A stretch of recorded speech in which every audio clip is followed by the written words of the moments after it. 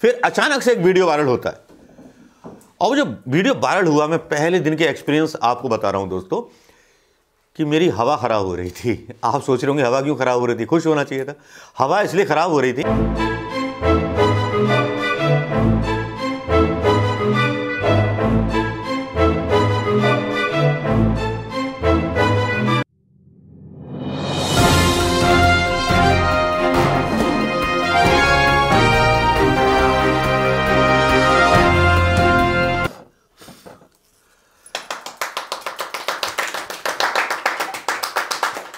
दोस्तों दोस्तों, ये सेलिब्रेशन है आप सबके साथ। वन मिलियन ये रह गई थी।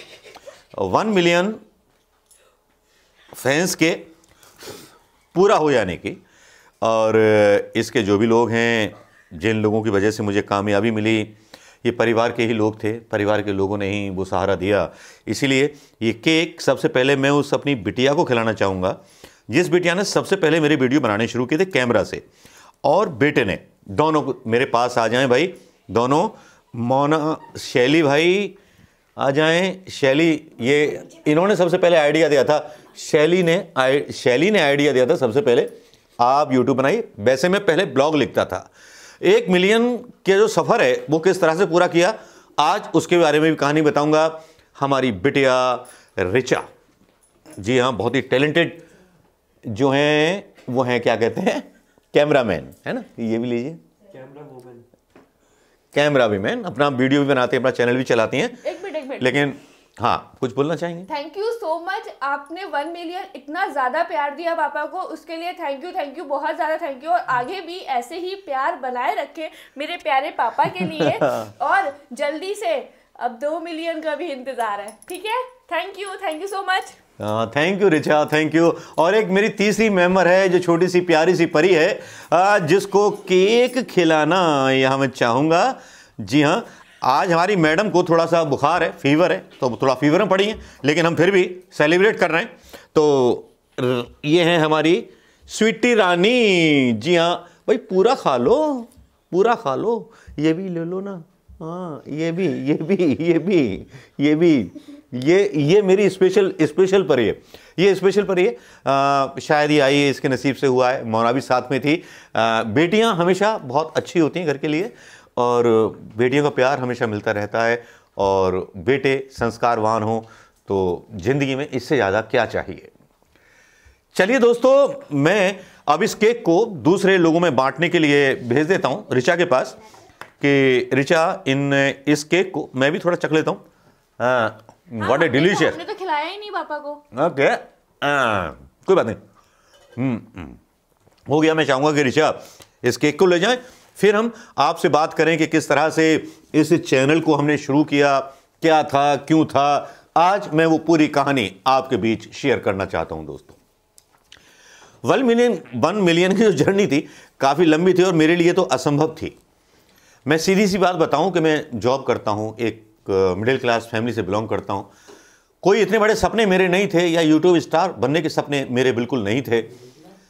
बस एक हवा सी चली 2014 में। मैंने पहले ब्लॉग्स लिखने शुरू किए, ब्लॉग साइट बनाई अपनी।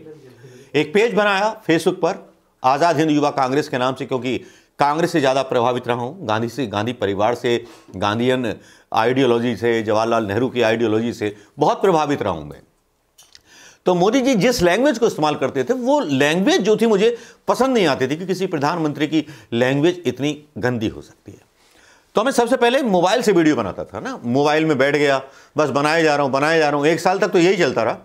फिर अचानक से एक वीडियो वायरल होता है। और जो वीडियो वायरल हुआ, मैं पहले दिन के एक्सपीरियंस आपको बता रहा हूँ दोस्तों, कि मेरी हवा ख़राब हो रही थी। आप सोच रहे होंगे, हवा क्यों ख़राब हो रही थी? खुश होना चाहिए था। हवा इसलिए ख़राब हो रही थी कि मुझे लग रहा था कि ये सरकार देखेगी।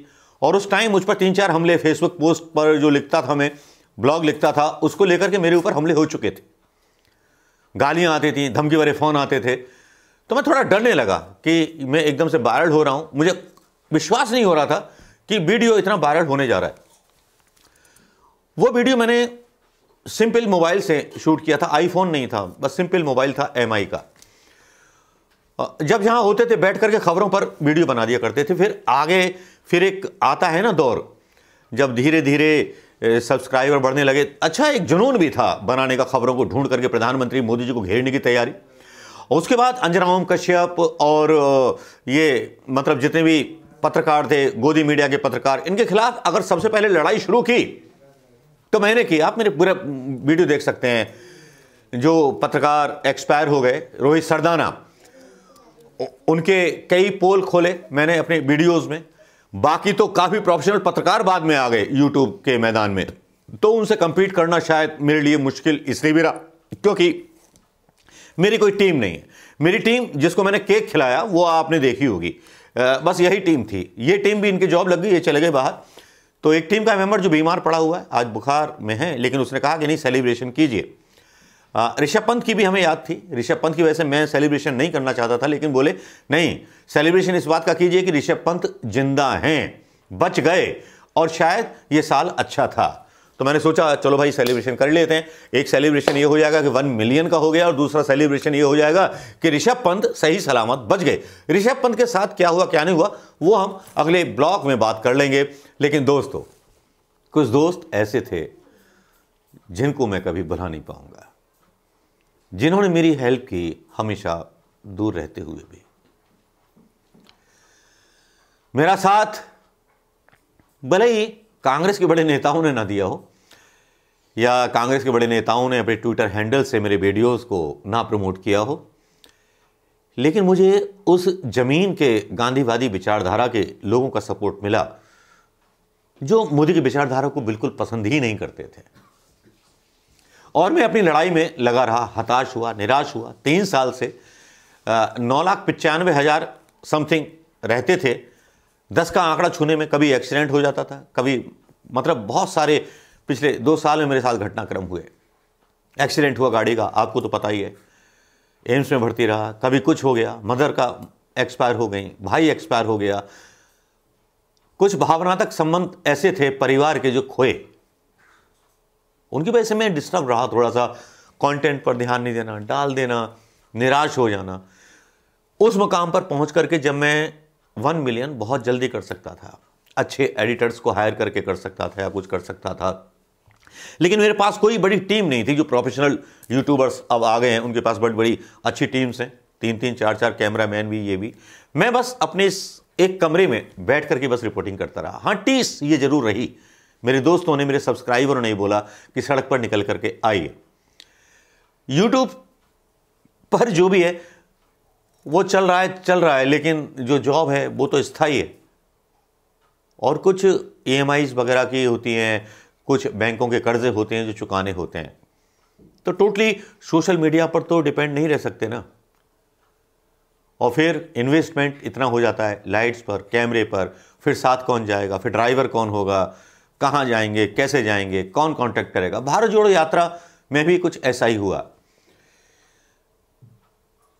खैर छोड़िए, जैसा भी हुआ, लेकिन मैं आज सबसे बड़ा खुश इसलिए हूँ कि कुछ सब्सक्राइबरों ने हमेशा कमेंट करना नहीं छोड़ा, जिनके नाम मैं कभी किसी और दिन बताऊँगा। मैंने शुरू किया था अपना वीडियो बनाना एक छोटे से मोबाइल से।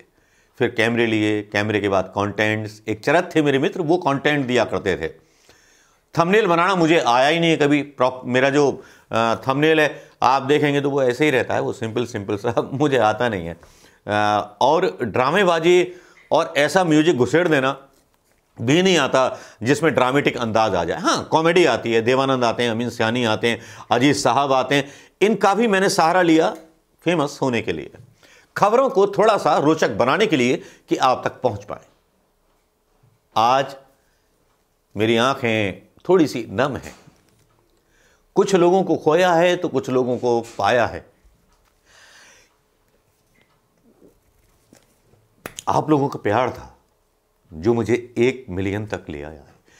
थैंक यू दोस्तों, इसी की, इसी तरह जुड़े रहिएगा मेरे साथ। नमस्कार, जय हिंद दोस्तों।